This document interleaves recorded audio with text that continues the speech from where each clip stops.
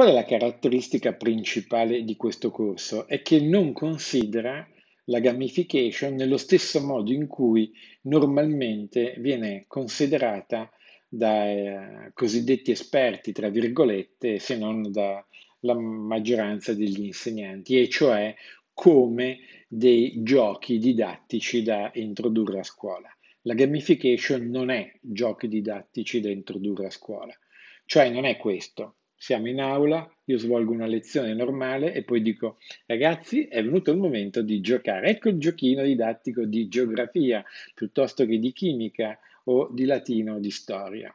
No, questo significa eh, infondare negli studenti eh, l'idea, consolidarla proprio, l'idea che eh, l'insegnamento sia una cosa e abbia il suo aspetto bello e tradizionale, trasmissivo, classico, e poi il gioco sia così un momento ludico.